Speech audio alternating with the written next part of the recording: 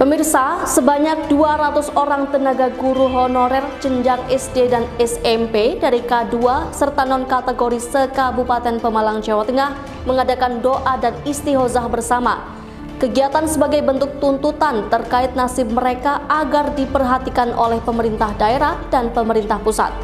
Bertempat di gedung PGRI Kabupaten Pemalang, beralamat di Jalan Dr. Cipto Mangunkusumo, Mulyo Harjo, Pemalang, pada Kamis 23 Juni 2022.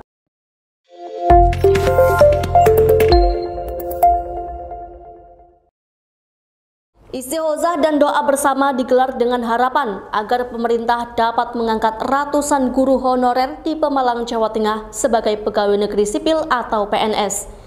Didin Arifin Nur Ihsan selaku Ketua Honorer SD dan Ketua Penyelenggara Doa Bersama mengatakan masih ada 2068 rekan-rekan guru yang belum lulus di tahun kemarin dan jumlah passing grade di Kabupaten Pemalang 1.500 di antaranya 1.156 passing grade dari negeri dan 5 dari kabupaten di 35 provinsi yang belum membuka formasi termasuk di Kabupaten Pemalang. Jadi seperti ini uh, masih ada 2068 uh, teman-teman kita yang belum lulus di tahun kemarin dan jumlah yang passing grade di Kabupaten Pemalang itu ada 1.500 di antaranya adalah 1.156 itu passing grade dari negeri dan 5 dari kabupaten di 35 provinsi di uh, Jawa Tengah itu 5 di antaranya belum membuka formasi termasuk di Kabupaten Pemalang. Rangkaian acara pada hari ini yaitu doa bersama dan istighosa. Mudah-mudahan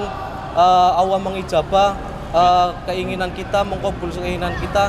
Mudah-mudahan pemerintah Kabupaten Pemalang terketuk hatinya segera membuka formasi P3K di Kabupaten Pemalang. Sementara itu, Dr. Wilujeng Rubianto selaku Wakil Ketua PGRI Kabupaten Pemalang mengharapkan kepada pemerintah daerah dalam hal ini kebijakan Bupati Pemalang dapat memberi warna dan memenuhi harapan para guru honorer yang ada. Ya, ini adalah salah satu cara dari sekian banyak cara yang sudah dilakukan oleh teman-teman honorer.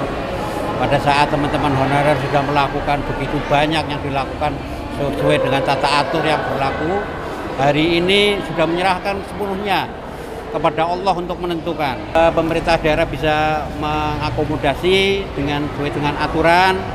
Kita juga sadar bahwa tidak semudah apa membalikan tangan.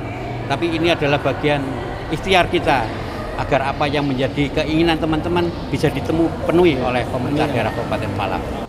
Sedangkan dari kalangan guru honorer sendiri, pemerintah Kabupaten Pemalang bisa mengakomodasi aspirasi para tenaga honorer dengan aturan yang ada. Meski tuntutan para guru honorer tidak semudah membalikan tangan, namun hal ini tapi sebagai bagian ikhtiar agar apa yang menjadi keinginan para honorer bisa dipenuhi oleh pemerintah Kabupaten Pemalang.